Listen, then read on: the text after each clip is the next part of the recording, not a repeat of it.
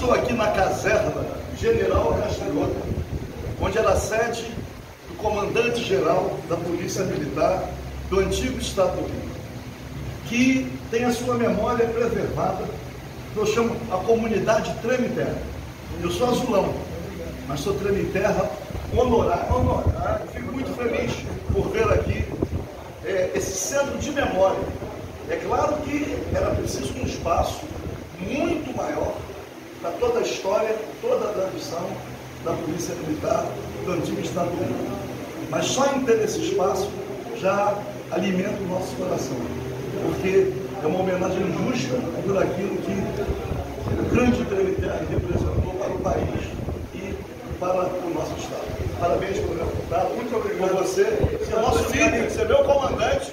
O Tremiterra também sou. Muito obrigado por esse carinho. Muito obrigado.